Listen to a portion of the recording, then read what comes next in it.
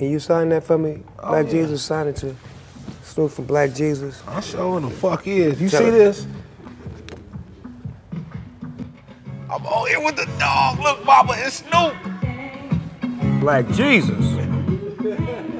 It's Snoop. Wow. Gotta play some gospel for Black Jesus.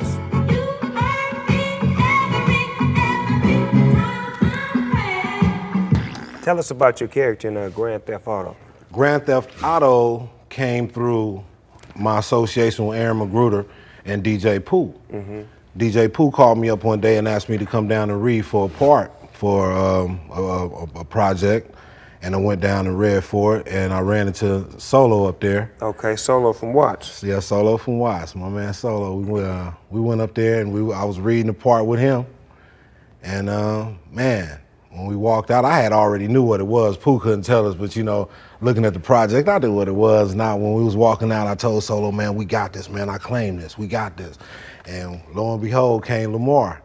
I played the character Lamar Davis. Uh, he was a straight up knucklehead. He was the one homie who just, you know, who mine is in the hood, who mine would never leave. You got different kinds of homies. You know, you got homies that will leave their hood, they'll take their body out, but they they mind is still there. That's Lamar. You know what I'm saying? You got some brothers that can get out and take their mind out also. You know, with Lamar, his mind is stuck in the hood, and he didn't want to leave the hood, and he just um, a hilarious idiot. Don't know no better. You know what I'm saying? Lamar just straight guns and nuts. Fuck it. Love it. You know what I'm saying?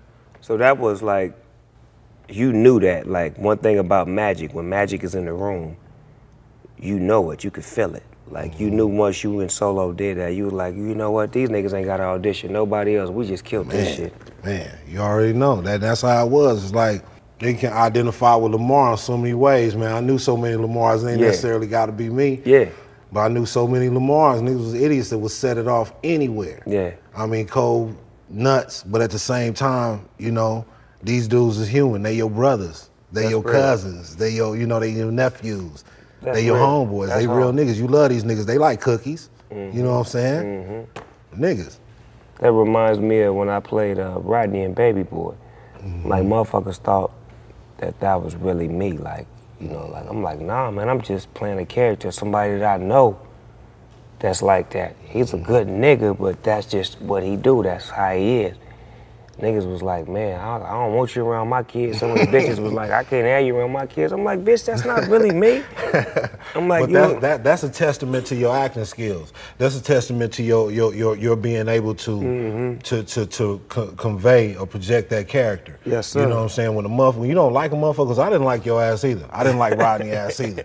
Well, I'm watching this show, bitch ass nigga. Jody, stop that nigga, cuz.